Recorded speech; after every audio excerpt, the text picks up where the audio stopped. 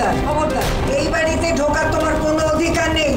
শেষবারের মতন মানুষটাকে একবার দেখতে দিন মা। মা বলে ডাকছে আমাকে। সর্বনাশী মেয়ে কোথাকার? দূর হয়ে যাও।